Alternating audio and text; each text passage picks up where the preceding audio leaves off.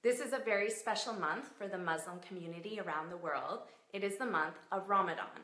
So I'd like to share with you some vocabulary you can use when talking about Ramadan. And if you're not Muslim, this is a great opportunity for you to learn about the culture of another community around the world. So first, we use the verb observe with religious events, holidays, and celebrations.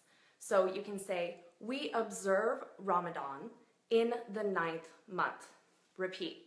We observe Ramadan in the ninth month. So repeat, ninth, ninth month. We observe Ramadan in the ninth month. Now notice here the verb is in the present simple because it is a repeating activity, a part of your daily routine. So we use the present simple. And also because right now we're in the ninth month, we can use the present continuous. So we can say, right now I am observing Ramadan. I am observing Ramadan. Repeat. Right now I am observing Ramadan. Okay, another important verb, fast. So to fast is when you do not eat any food and do not drink any liquid. Now, it can also mean to not do other activities such as smoke cigarettes, for example. So, fast. So you can say, we fast from dawn to dusk. So again, the verb is in the present simple because it's for a repetitive activity, a daily routine. So repeat, we fast from dawn to dusk. Now, dawn is when the sun rises at dawn. So repeat, dawn. And dusk is when the sun sets. Dusk. Repeat, dusk. And we can use the present continuous to describe activities we're doing right now.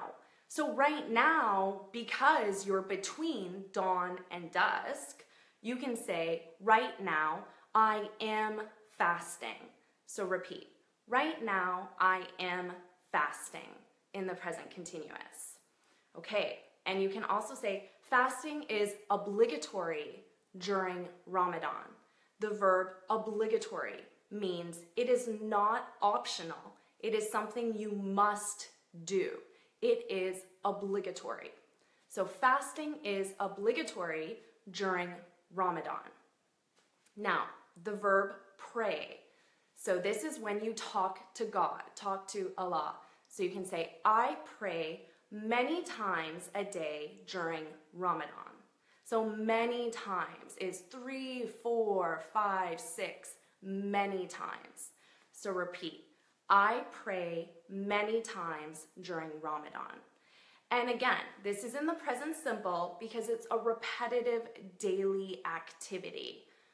Okay, and now a greeting. So, what can you say to someone during Ramadan as a greeting?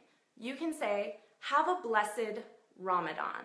So, repeat, blessed, blessed.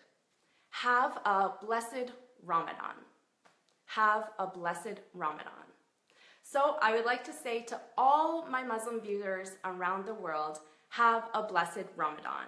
And I'd like to leave you with a fun fact. So I learned that if you are a Muslim living in Iceland, the country of Iceland, you would need to fast for 22 hours a day because dawn to dusk is 22 hours. So I certainly hope that you do not have to fast that long and if there is anyone in Iceland watching this, I wish you the best of luck. Have a blessed Ramadan.